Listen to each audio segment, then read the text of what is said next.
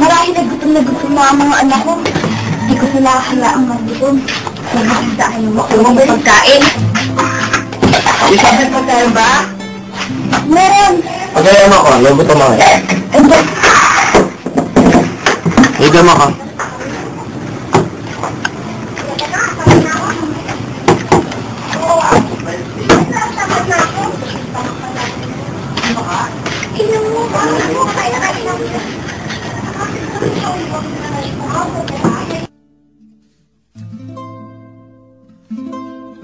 Wala nang matira! Nasaan ang mga anak mo? Ba't may nagsamo ka na? Wala, wala. Teka. Teka, nasan na ba yung mga anak mo? Nasa kumbento pero Wala ka. umuwi na rin sila. Sandali!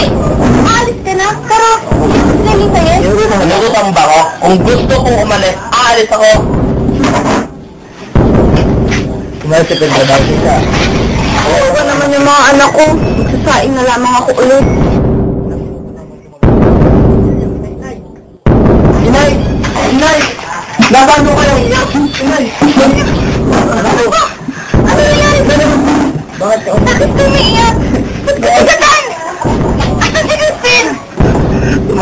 ako sa kumbento. Natatakot mo ako, Inay. Si Crispin ho, natatakot din. Ano si Crispin? Asan na siya? Hindi ko siya makakawi, Inay. Napagbintangan ko siya magnakaw. Ano? Ikaw ba pala na mabait kong si Crispin? Dahil basta mahirap lang tayo, kailangan nating magdusa. Inay! Bakit ba Silyo? Nagugutom ka? Oh, halika. Halika, ito ang pagkain. Ang kanin at daing. Pero Inay, hindi ako kumakain. Hindi po ako kumakain ng daan na. Alam ko anak, kanina, naghanda ako ng masarap na pagkain. Ngunit, dumating ang iyong ama. Dumating, si Itay?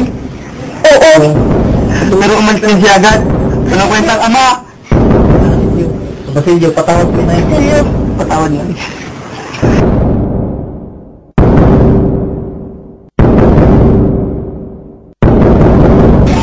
Ano ano bang gagawin ko? Kumain na lang tayo, Nay.